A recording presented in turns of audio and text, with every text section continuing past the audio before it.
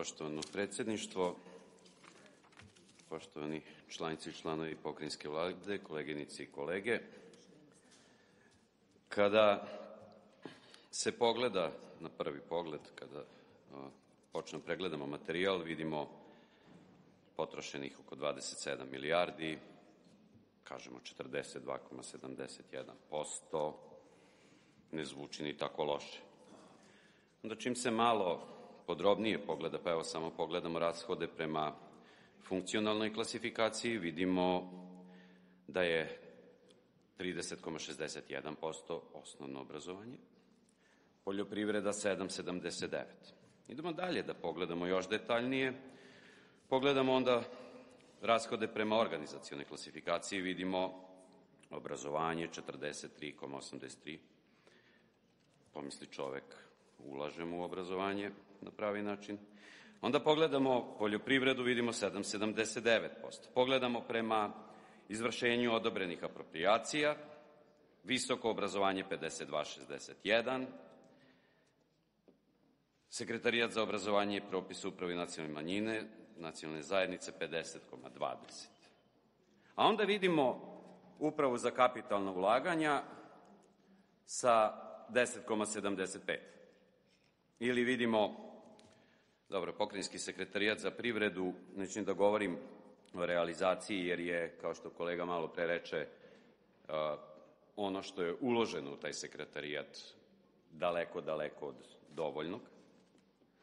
Pogledamo pokrinjski sekretarijat za poljoprivredu 26, za zdravstvo 26,9. Pogledamo još detaljnije i onda vidimo, aha, prosek diže, transakcija javnog duga, dobro, to je nešto što se mora. Da li je moralo da se ide i na prevremenu otplatu duga, to je diskutabilno, to kako tumači, ja mislim da nije potrebno. Onda pogledamo poljoprivredu 27, šumarstvo 0,49. Hoćemo još detaljnije da pogledamo, pa pogledamo samo za sekretarijat za poljoprivredu, vodoprivredu i šumarstvo i vidimo da je recimo pozicija zaštita, uređenje, korišćenje i upravljanje poljoprivrednim zemljištem 16,88%, podstice i poljoprivredi i ruralnom razvoju 15,65%, razvoj sela 1,7%, uređenje korišćenje voda 10,94%, zaštita voda 39%, zaštita voda od zagađivanja 23%,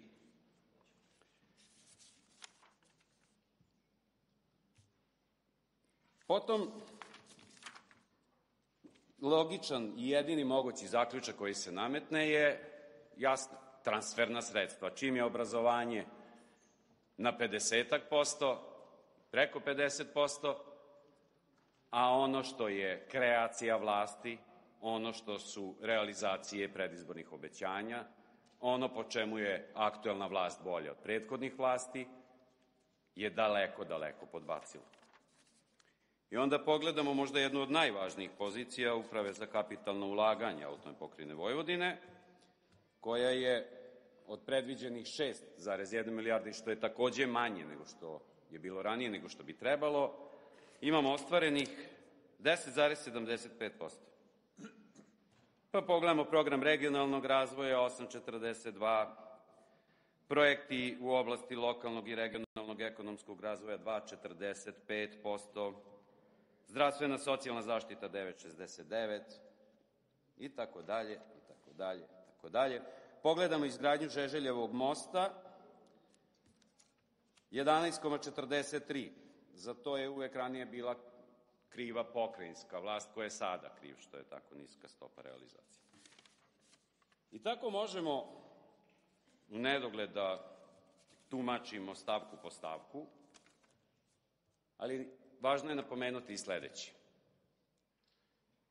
Ne mogu stvari da se gledaju crno-belo.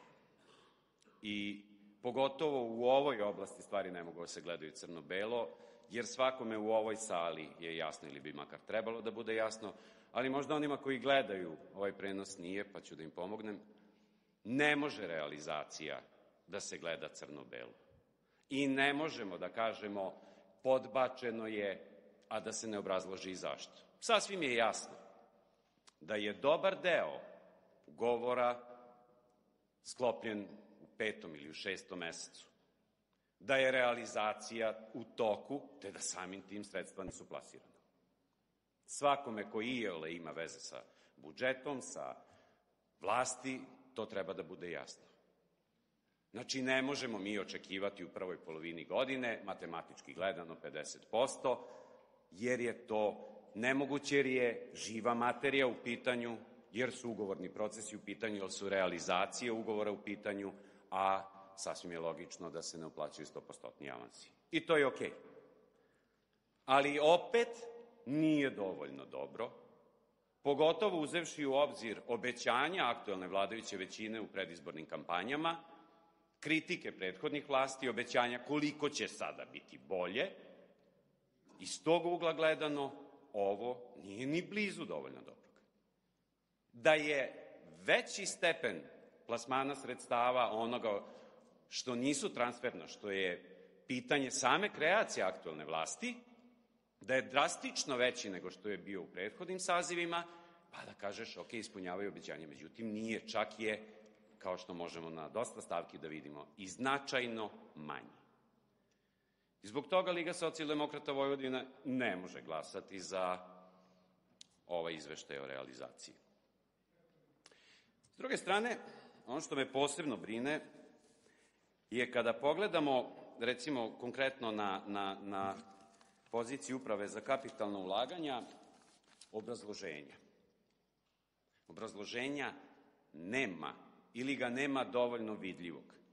Ako hoćemo da objasnimo jedni drugima i građanima da je nemoguće realizovati upravo iz razloga kojih sam rekao u nekom matematičkom smislu gledano pola-pola na pola godine, onda im obrazložimo da je to zato što je nešto u toku, da je to zato što je nešto pri kraju realizacije, da će biti realizovano tada i tada, pa će tada biti plaćeno i zbog toga ne mogu sredstva budu u prvom polugodištu realizovana. Ne, toga nigde.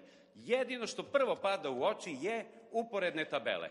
Ok, moraju da budu, ali da li je to prvo što mora da bude? Zato što opet ćemo da idemo ka tome, prošle vlasti su bile ovakve i onakve, sadašnje vlasti su mnogo bolje, vi ste tada ovako, mi smo onako, od vi ste i mi smo, napretka u Vojvodini neće biti. Da se ova diskusija pretvori u vraćanja, u linčovanje nekoga ko kritikuje ili daje sugestiju dobronamernu, pa čak i ako nije dobronamerna, sugestija je, to je ono čega se ja pribojavam.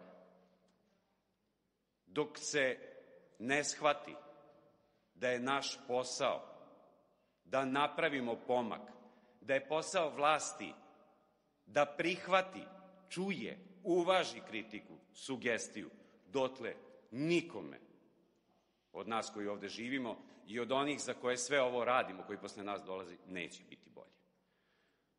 Ja mogu da vam, time da završim, uputim jednu poruku, koja je moje lično i duboko uverenje. Štednja, o kojoj svi iz vladajuće većine i u pokrajini i u Republici govore, nije uspeh. Pogotovo štednja na investicijama. To nije uspeh, to je neuspeh. Uspeh je investiranje.